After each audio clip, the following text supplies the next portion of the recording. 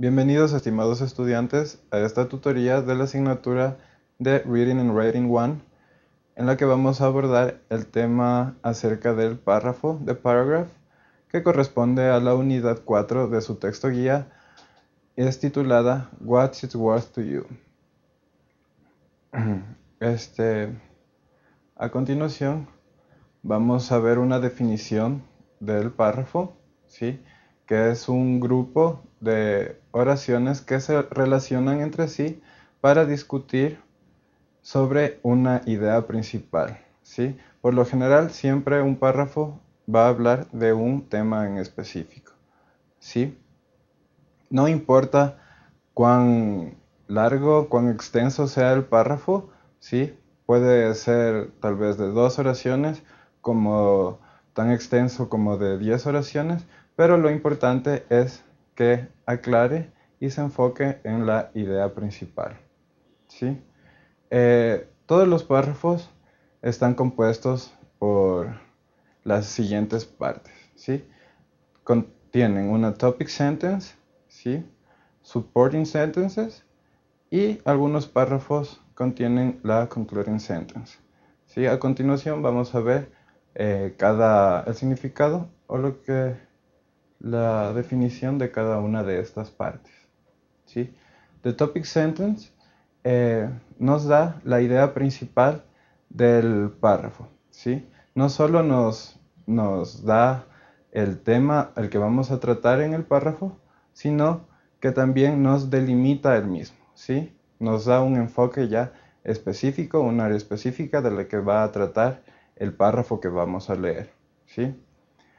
Eh, una vez abordada la topic sentence, ¿sí? vamos a encontrar los supporting details o las supporting sentences, que son las oraciones que nos van a explicar y nos van a dar mucho más detalles de lo que se trata el párrafo. ¿sí? Nos van a dar más información de lo que estamos tratando en el texto. Y finalmente tenemos en algunos párrafos vamos a encontrar la concluding sentence, ¿sí? que ya nos da la pauta de que el párrafo está llegando a su parte final y que nos va a dejar este, ya la conclusión eh, y una idea importante de lo que ha tratado todo el párrafo. Hay muchas veces que la conclusión ¿sí? nos, nos va a dejar o se va a parecer mucho a la topic sentence, ¿sí? a la que nos dio la pauta de lo que íbamos a tratar en el párrafo. En este caso yo he considerado un ejemplo ¿sí? de Gold y vamos a, identificar las partes de, este párrafo. ¿sí? Eh, en subrayado en rojo tenemos la topic sentence que dice Gold is prized for two important characteristics. ¿sí? En esta oración ya nos da el, de qué vamos a tratar en el párrafo y nos delimita eh, el tema un poco, ¿sí? Ya nos está diciendo que vamos a hablar del oro, vamos a leer sobre el oro, sobre este metal precioso y que nos va a especificar dos eh, características importantes de este metal. ¿Sí? Vamos a continuar con la lectura y dice, eh, first of all, gold has a lustrous beauty that is resistant to corrosion. Therefore, it is suitable for jewelry and another important characteristic of gold is its usefulness to industry and science. For many years, it's been used in industrial applications. ¿Sí?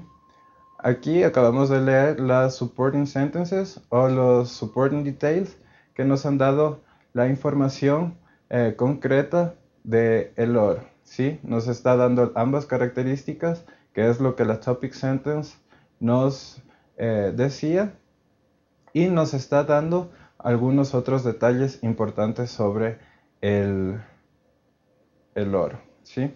Todo lo que vemos, todas las oraciones que están subrayadas eh, o están en color negro son las supporting details. ¿sí? Nos dan detalles acerca de la topic sentence.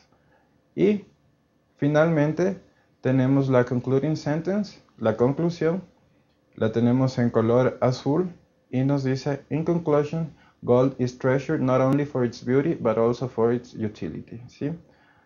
nos, eh, como les había comentado anteriormente, la concluding sentence a veces se parece o nos, eh, nos hace referencia a la topic sentence, ¿sí? Por ejemplo, en la topic sentence teníamos que nos va a hablar de dos características y en la concluding sentence, en la conclusión, ya vemos que nos dice, nos habla de su belleza y de, su, de la utilidad de este metal. ¿Sí? Entonces, estas son las partes del, del, del párrafo. Espero que sean de su ayuda para que continuemos con la asignatura y eh, esperamos vernos en otra oportunidad. Muchas gracias.